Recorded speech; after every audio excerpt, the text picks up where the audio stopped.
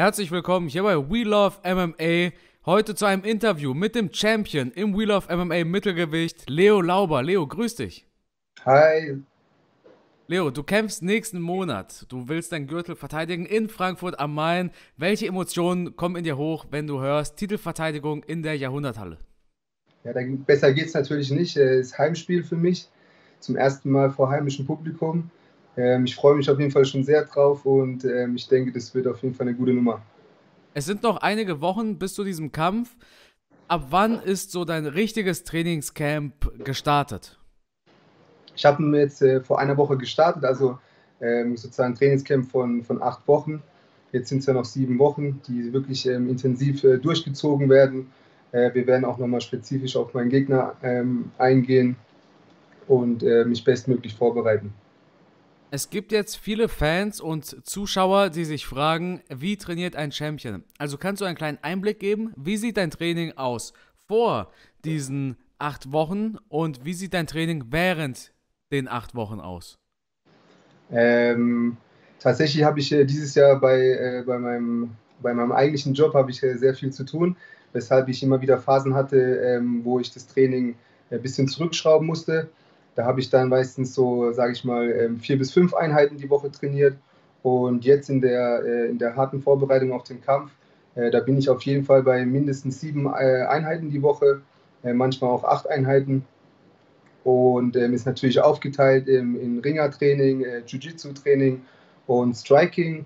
Und zweimal die Woche haben wir ähm, Sparring, mittwochs und samstags. Ansonsten haben wir auch noch ein Kraft- und Ausdauertraining immer mittwochs und freitags. Und so sieht jetzt die Vorbereitung die nächsten letzten sieben Wochen jetzt nochmal aus. Wenn du jetzt sagst, du machst viele verschiedene Einheiten in der Woche, dann stellt sich mir natürlich die Frage, welche Einheit gefällt dir am meisten und bei welcher Einheit denkst du dir, boah, können wir das nicht das nächste Mal machen? äh, tatsächlich sind bei uns ähm, eigentlich alle Einheiten ähm, ziemlich hart, ähm, aber auch alle machen Spaß. Ähm, so eine richtige Lieblingseinheit habe ich tatsächlich nicht, ähm, aber tatsächlich bei Kraft und Ausdauer, ähm, wenn man dann auf dem Air, äh, Airline-Bike ist zum Beispiel, ähm, da denkt man sich schon manchmal, okay, ich bin froh, wenn ich es geschafft habe. Ja, sehr cool. Leo, eine Frage und zwar, wir hatten anfangs über die Emotionen gesprochen. Ja. Und äh, zu den verschiedenen Emotionen gehört vielleicht manchmal auch Druck. Würdest du sagen, so ein Fight bei so einem Fight lastet vielleicht ein bisschen mehr Druck auf den Schultern, weil man eben weiß, es kommen sehr viele Freunde, es sind viele da, die einen Gewinn sehen wollen, man kämpft vor heimischem Publikum. Löst das bei dir auch Druck aus oder versuchst du so cool es geht mit der Situation umzugehen? Ähm, also Druck ist ja generell vor jedem Kampf da. Ähm, ich würde sagen, aber mich tut es eher nochmal mehr ähm, bestärken oder mehr motivieren, sozusagen, wenn ich weiß, okay, da werden jetzt nochmal äh, noch vielleicht ein paar mehr Freunde, nochmal ein bisschen mehr Familie da sein die mich supporten, dann pusht mich das eigentlich nochmal mehr und gibt mir nochmal sozusagen Rückenwind.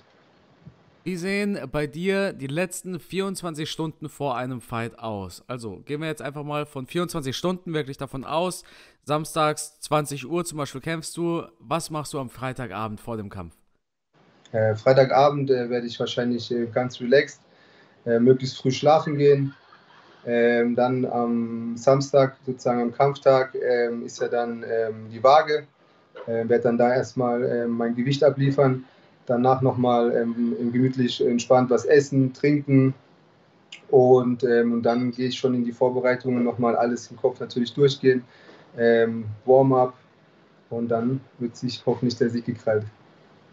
Und hast du ein bestimmtes Ritual vor einem Fight? Es gibt Fighter, die die trinken irgendwas Bestimmtes unmittelbar vor dem Kampf oder die lesen sogar manchmal noch ein Buch oder sowas. Hast du ein bestimmtes Ritual? Was machst du, bevor es in den Käfig geht? Ich habe tatsächlich kein äh, bestimmtes Ritual. Ähm, meistens, also ich habe nichts, was ich bis jetzt immer gemacht habe. Ähm, tatsächlich kann ich da leider nichts dazu sagen. Und wie sieht das aus? Wir hatten jetzt die Emotion vor einem Fight. Bei deinem letzten Kampf hast du ja den Gürtel gewonnen. Das war ein Titelkampf gegen Peter Njari. Du hast den ja. Gürtel vom ähm, vakanten, also vakant erklärten Gürtel gewonnen, nachdem das in Stolzfuß zur UFC gewechselt ist. Mhm. Was oder wie hast du nach dem Kampf, nach dem Titelsieg gefeiert? Das waren tatsächlich, äh, das war ein, auf jeden Fall ein Moment, den ich nicht mehr vergessen werde. Ähm, wir sind danach dann nach Frankfurt gefahren und sind noch bei meinem Teamkollegen Max Goga, sind wir in der Peak Dame ähm, feiern gegangen. Und ähm, es war auf jeden Fall eine lange, intensive Nacht, die ich so nicht mehr vergessen werde. Und vor allem, wenn du diesmal gewinnen solltest, dann ist der Weg nicht mehr so weit bis zur Peak Dame wahrscheinlich. Äh, diesmal ist es leichter, genau. Diesmal kann man dann direkt ähm, Volley in die Peak Dame gehen und dort nochmal abreißen. Das wird der Plan sein. Sehr schön. Würdest du sagen, das Training im MMA Spirit in Frankfurt hat dich nochmal ein Stück mehr bereichert als Kämpfer?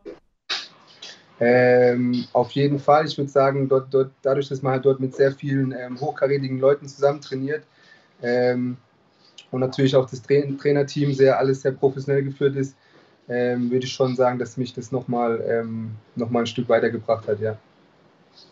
Wenn du dir vorstellst, dein Gegner Dukic schaut gerade dieses Interview, hast du irgendwelche Worte, die du an ihn richten möchtest? Ähm, ich freue mich drauf, äh, gegen dich am 17.09. zu kämpfen und hoffe auf ein faires Match und der Bessere möge gewinnen. Sehr schön. Dankeschön, Leo Lauber, für dieses Interview. 17.09. Wheel of MMA in Frankfurt am Main in der Jahrhunderthalle. Und da würde ich sagen, das Schlusswort, das gehört nochmal dir. Ähm, ich freue mich drauf, euch alle am 17.09. in Frankfurt zu sehen. Ähm, wer es nicht persönlich schafft, der schaut sich den Livestream an. Und ähm, ich hoffe, euch einen spektakulären, guten Kampf liefern zu können. Und mit dem Titel natürlich, dass er in Frankfurt bleibt, da bin ich mir ziemlich sicher.